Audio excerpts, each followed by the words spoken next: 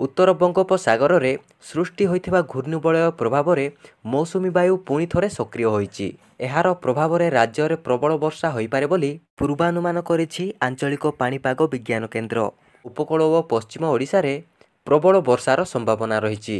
ଏଥିପାଇଁ ଚାରି ଦିନ ଲାଗି ଜାରି କରାଯାଇଛି ୟେଲୋ ୱାର୍ଣ୍ଣିଂ। ଆଜି ସାତଟି ଜିଲ୍ଲା ରାୟଗଡ଼ା କନ୍ଧମାଳ ବଲାଙ୍ଗୀର ବରଗଡ଼ ସମ୍ବଲପୁର କେନ୍ଦୁଝର ଓ ମୟୂରଭଞ୍ଜ ପାଇଁ ୟେଲୋ ୱାର୍ଣ୍ଣିଂ ଜାରି ହୋଇଛି। ସେହିପରି ଦ୍ୱିତୀୟ ଦିନ ପାଇଁ ଆଠଟି ଜିଲ୍ଲା କୋରାପୁଟ ମାଲକାନଗିରି ନବରଙ୍ଗପୁର କେନ୍ଦୁଝର ମୟୂରଭଞ୍ଜ ସୁନ୍ଦରଗଡ଼ ବାଲେଶ୍ୱର ଓ ଭଦ୍ରକ ପାଇଁ ୟେଲୋ ୱାର୍ଣ୍ଣିଂ ଜାରି ରହିଛି। ୟେଲୋ ୱାର୍ଣ୍ଣିଂ ଜାରି କରିଛି ପାଣିପାଗ ବିଜ୍ଞାନ କେନ୍ଦ୍ର।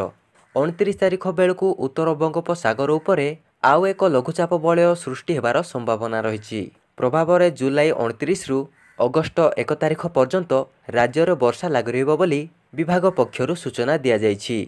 তো ফ্রেন্ডস এইভাবে নূয়া নূয়া ইনফরমেশন নিউজ এবং টেকনিকাল ভিডিওগুড়ি দেখা পাই আমার চ্যানেল সবসক্রাইব করে নিয়ন্তু